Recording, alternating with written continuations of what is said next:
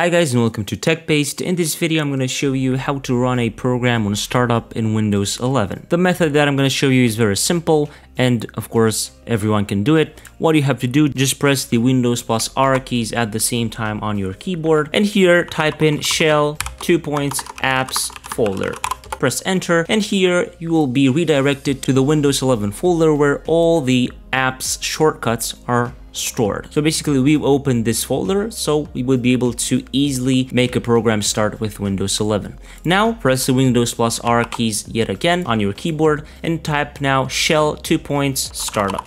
Press enter and now the startup folder from Windows 11 will be opened all you have to do, just go to the applications folder, look for an application that you want to be opened with Windows, let's say for example sticky notes, drag and drop it here in the startup folder and the shortcut will be created here.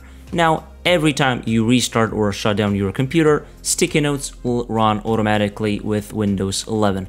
So basically this is how easily it is to run a program on startup on Windows 11 the commands used in the Windows Plus R box will be in the description down below, so you can get them from there. If this quick video was useful, don't forget to leave a like down below, and also subscribe to the TechBased channel with the notification bell activated, so that you won't miss any future uploads like this one. I was Emmanuel from TechBased, until next time, have a nice day.